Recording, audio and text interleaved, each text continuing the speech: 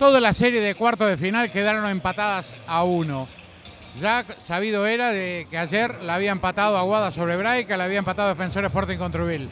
Y hoy a primera hora Atenas la iguala sobre la Reborges. Con muchísimo trabajo ganó Atenas, donde hubo un muy buen partido por parte de Bastón, de Barriola, de Gastón Páez, para detener un La Reborges que había hecho un excelente encuentro. Atenas creció en el cierre defendiendo problemas en el tobillo de Villegas.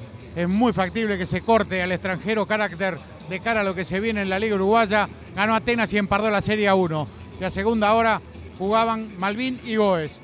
Y uno por el partido el otro día pensaba de que era muy difícil que Goes pudiera cambiar como cambió. Cambió Goes, tuvo actitud, empató la serie, le ganó Malvin.